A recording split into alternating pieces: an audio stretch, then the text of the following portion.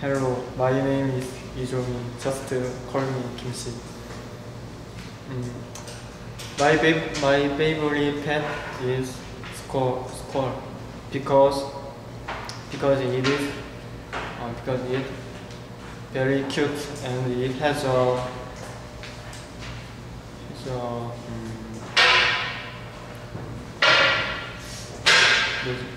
big tails, big tails, and and it looks like small. And and my my major is CAD camp. Thank you. Alright. Thank you, Johnny. Good job. Well done. Yay.